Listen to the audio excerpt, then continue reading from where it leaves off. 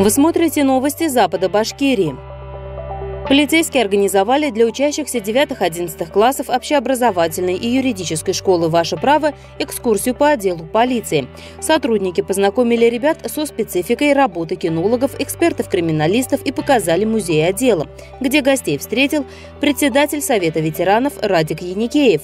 Он рассказал историю становления городского отдела внутренних дел, поведал о тяжелых буднях сложной профессии правоохранителя, о сотрудниках, исполнявших служебные обязанности в Северокавказе Кавказском регионе. Далее ребятам сотрудники полиции продемонстрировали приемы борьбы. В завершении мероприятия ребята с удовольствием примерили на себя бронежилеты, шлемы, противогазы, а также попробовали себя в сборке и разборке автомата Калашникова и пистолета Макарова. Более 800 тысяч жителей Башкирии получили прививки от гриппа. Зарегистрирован сезонный рост заболеваемости острыми респираторными инфекциями. Уровень заболеваемости остается ниже эпидемического порога. Об этом сообщает Роспотребнадзор. В республике проводится прививочная кампания против гриппа. Почти 20% населения Башкирии получили прививки.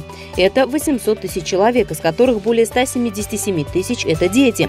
Имеющиеся в наличии вакцины против гриппа обеспечивают защиту от штаммов вируса, которые являются являются наиболее актуальными в данном эпидемиологическом сезоне, уточняют специалисты. В Краеведческом отделе Центральной библиотеки провели итоги видеоконкурса «Мы любим стихи Мустая Карима». В нем приняли активное участие учащиеся школ города. Они посмотрели буктрейлер про жизнь и творчество писателя. Самым волнительным моментом стало награждение победителей. Ребятам вручили грамоты и призы. В Давлеканово проходит акция «Мыльный бум». Активное участие в ней приняла гимназия номер 5. Фонд благоустройства и развития города передали большое количество средств личной гигиены. Это мыло, шампуни, гели для душа и многое другое. В ближайшее время все собранные мыльные принадлежности отправят детям, чьи семьи оказались в трудной жизненной ситуации.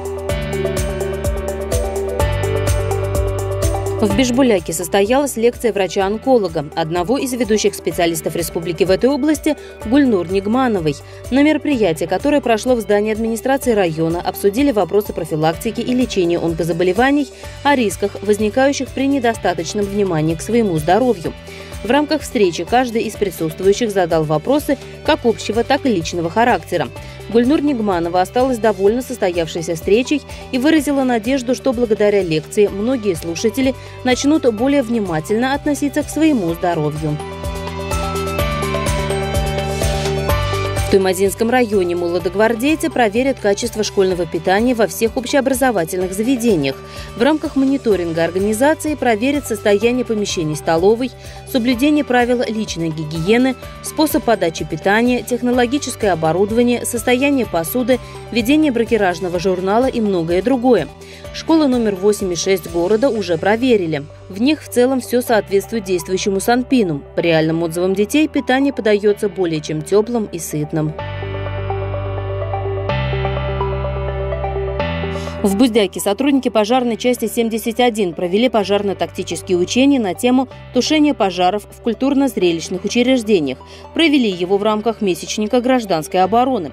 В ходе проведенных тренировочных учений отработали действия с персоналом районного дома культуры в случае возникновения пожара – Кроме того, отработали взаимодействие служб жизнеобеспечения и проверили готовность личного состава. Одной из основных задач гражданской обороны является выполнение мероприятий по подготовке и защите населения, а также материальных и культурных ценностей от различных опасностей. В Раевском прошли турниры по армспорту и стритболу. Соревнования состоялись среди юношей и девушек 2002 года рождения и младше. На церемонии открытия турниров присутствовали заместитель главы администрации Альшеевского района, председатель комитета по спорту и молодежной политике и директор детско-юношеской спортивной школы. Призовые места по армспорту в своих весовых категориях заняли обучающиеся гимназии села, школа номер 2 и школа номер 4.